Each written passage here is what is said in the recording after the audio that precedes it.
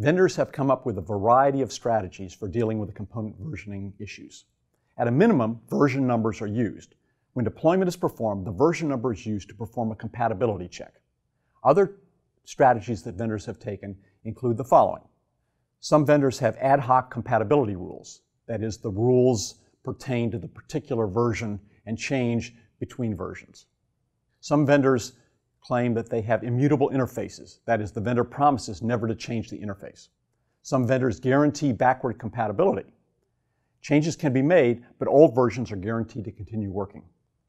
Some vendors have sliding windows of supported versions. That is, they will um, support the previous five versions or the previous three versions.